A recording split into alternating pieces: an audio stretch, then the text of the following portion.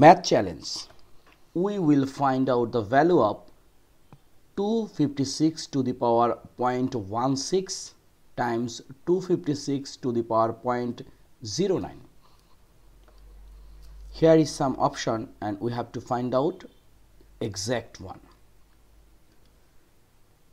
256 256 here base are same. We know once base are same it means a to the power m times a to the power n we can write a to the power m plus n.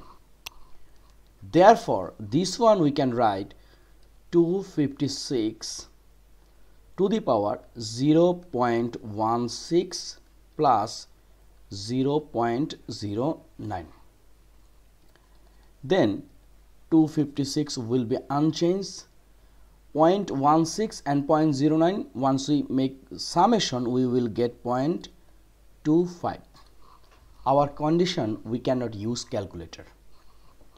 So these 256 we can write 2 to the power 8 right?